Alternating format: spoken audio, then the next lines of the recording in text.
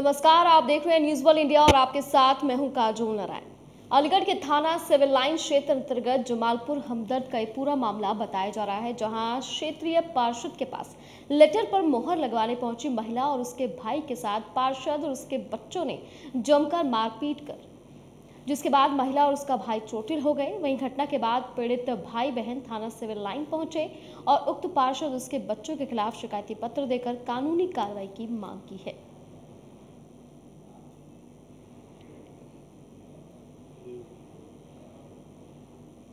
अलीगढ़ के थाना गांधी पार्क क्षेत्र अंतर्गत धर्म समाज महाविद्यालय का एक पूरा मामला है, जहाँ विद्यालय द्वारा की गई फ़ीस बढ़ोतरी से आक्रोशित छात्र छात्राएँ इकट्ठा हो गए और विद्यालय के गेट पर जोरदार प्रदर्शन करते हुए गेट पर ही पढ़ाई करने बैठ गए और कॉलेज प्रशासन और आगरा यूनिवर्सिटी के वीसी के खिलाफ जमकर नारेबाजी की।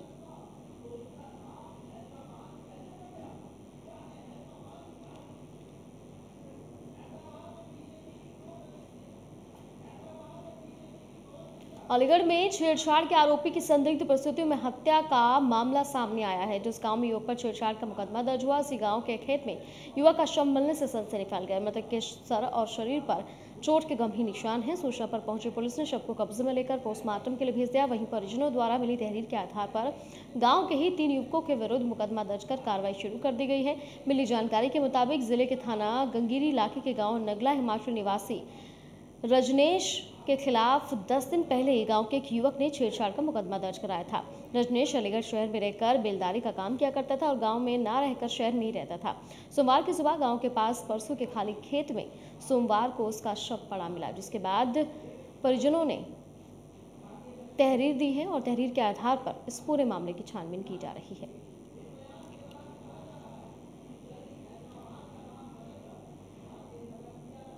नवनियुक्त नगर आयुक्त गज़ल भारद्वाज ने चार संभालते ही नगर निगम में I triple C integrated command control centre का निरीक्षण किया और शहर में कैमरे के द्वारा हो रही यातायात निगरानी के बारे में जानकारी दी। नवनियुक्त नगर आयुक्त गज़ल भारद्वाज ने पत्रकार वार्ता में कहा कि नाले और नालियों की सफाइयों पर विशेष ध्यान दिया जाएगा। साथ ही वृक्षारोपण की तरफ़ भी ध्यान दिया जाएगा। उन्होंने कहा कि शिकायतों का जल्द निस्तारण करने की कोशिश की जाएगी।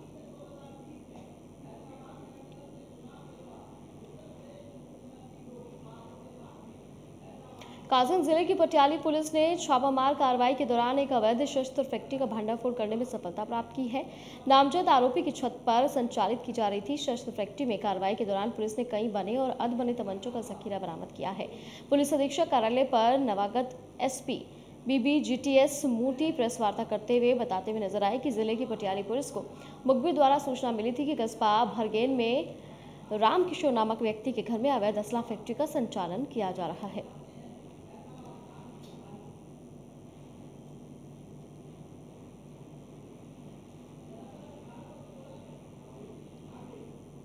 सिद्धार्थनगर ज़िले में बूढ़ी राप्ती नदी से सटे खैरी शीतल गाँव के ग्रामीणों को बरसात आने पर बाढ़ का डर सताने लगा है, जिससे ग्रामीण बरसात के दिनों में भैंसे जीते रहते हैं, लेकिन शासन प्रशासन पर ध्यान नहीं देता। यही गाँव है जहाँ 2017 में तत्कालीन मुख्यमंत्री योगी आदित्यनाथ ने बाढ़ आने पर इस गाँव का दौरा मोटर वाटर से किया था। मुख्यमंत्री के आदेश का आज तक इस गाँव में पालन नहीं किया गया, जिसमें बाढ़ से बचाव के लिए पत्थर के ठोकर लगाने की बात कही गई थी, जिसमें छह साल बीत जाने के बाद भी जिम्मेदार इस तरफ़ देखने की जहमत नहीं उठा रहे हैं।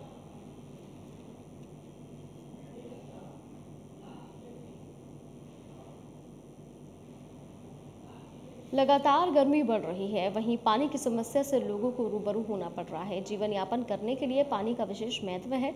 जब पानी नहीं होगा तो लोगों को पानी से संबंधित बहुत समस्याओं का सामना करना पड़ेगा।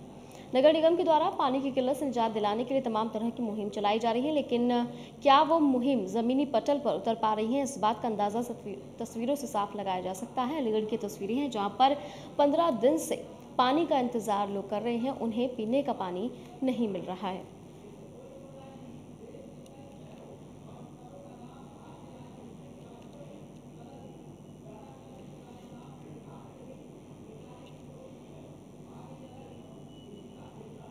सिद्धार्थनगर में प्रधानों ने खंड विकास अधिकारी के खिलाफ मोर्चा खोल दिया। खंड विकास अधिकारी पर सौतेला व्यवहार करने का आरोप लगाया है। मनरेगा कार्य का भुगतान न होने पर गेट पर तालाबंदी कर दी। खंड विकास अधिकारी के पास मिठवल और डुमरियागंज ब्लॉक का चार्ज है। खंड विकास अधिकारी अमित सिंह और थाना अध्यक्ष भानु प्रताप सिंह प्रधानों को मनाने में लगे हुए हैं।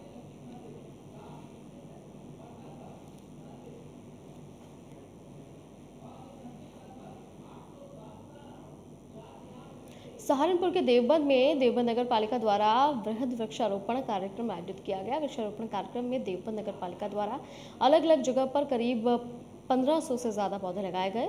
नगर के इंदिरा पार्क में एसडीएम दीपक कुमार, सीडीओ देवबंद रामकरण सिंह, कोतवाल प्रभारी, चेयरमैन प्रतिनिधि और नगर पालिका अधिशासी अधिकारी द्वारा वृक्षारोपण किया गया।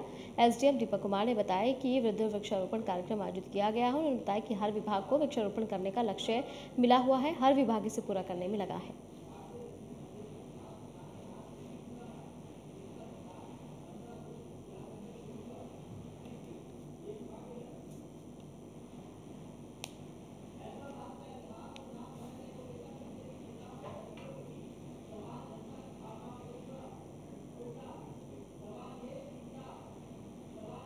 हरदोई के पिहानी कोतवाली के कोतवाल प्रभारी द्वारा होमगार्डों से अभद्रता और मानवीय व्यवहार करने का आरोप लगाकर होमगार्डों के प्रतिनिधिमंडल ने अपर पुलिस अधीक्षक से मिलकर पूरे मामले की शिकायत करते हुए कार्रवाई की मांग की। एएसपी ने मामले की जाँच सीओ हरियावा को सौंपी है।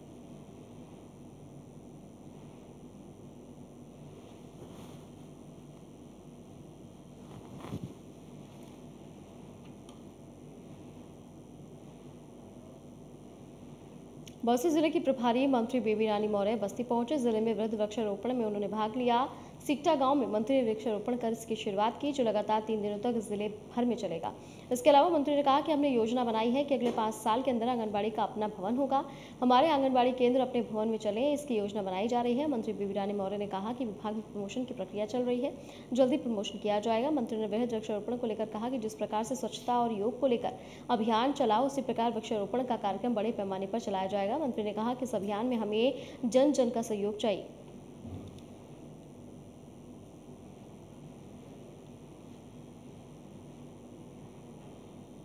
शासन के निर्देशों के क्रम में वृक्षारोपण, जन आंदोलन 2022 कार्यक्रम के अंतर्गत हरदोई जनपद में किए जा रहे वृक्षारोपण महाअभियान के क्रम में जनपद के नोडल मंडलायुक्त लखनऊ मंडल, लखनऊ रोशन जैकब द्वारा। विकास खंड सजिला के ग्राम, नारायणपुर में मियाबाकी पद्धति से किए जा रहे वृक्षारोपण कार्य का निरीक्षण किया गया और हरदोई की जीआईसी में पौधारोपण किया गया।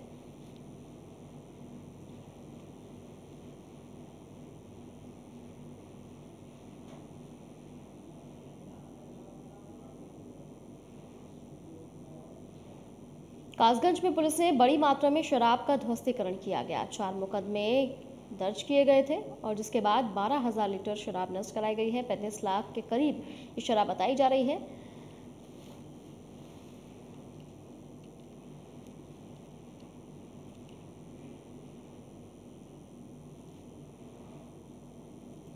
दिनेशपुर के नगर पंचायत सभागार में भाजपा मंडल समिति की बैठक की गई। सर्वप्रथम बैठक का शुभारंभ भाजपा के संस्थापक श्याम प्रसाद मुखर्जी के फ़ोटो पर माला अर्पण तथा दीप प्रज्वलित कर शुरू किया गया। मुख्य अतिथि अरविंद पांडे ने सभी कार्यकर्ताओं को अपने तेजस्वी भाषणों से जागरूक होने के लिए निर्देश किया और कहा कि सभी कार्यकर्ता सक्रिय रूप में अपने क्षेत्र में कार्य करें और आने वाले चुनाव के लिए हम लोग मिलजुल कर अपने भाजपा के प्रत्याशियों को चुनाव में जिताएँगे अथवा जो हमारे युवा मुख्यमंत्री पुष्कर सिंह धामी तथा डबल इंजन सरकार की जो भी नीति है, आम जनता तक पहुँचाना अति आवश्यक है।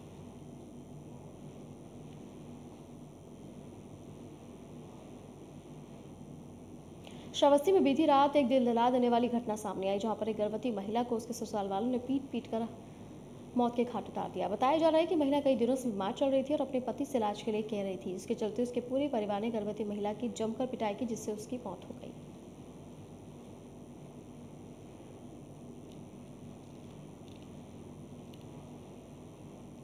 सहारनपुर में माननीय मंत्री, प्रविधिक शिक्षा, उपभोक्ता एवं बाट माप विभाग, उत्तर प्रदेश तथा जनपद के प्रभारी मंत्री श्री आशीष पटेल ने वृक्षारोपण जन आंदोलन कार्यक्रम के अंतर्गत फीता काटकर बुढ़ाखेड़ा पुडिन में मौलश्री का पौधा रोपित कर कार्यक्रम का शुभारंभ किया। माननीय मंत्री आशीष पटेल जी ने कहा कि प्रधानमंत्री जी के विजन को पूरा करने के लिए तथा मुख्यमंत्री के दिशा निर्देशों में पूरे प्रदेश में 35 करोड़ पौधे लगाए जाने का लक्ष्य निर्धारित किया गया है।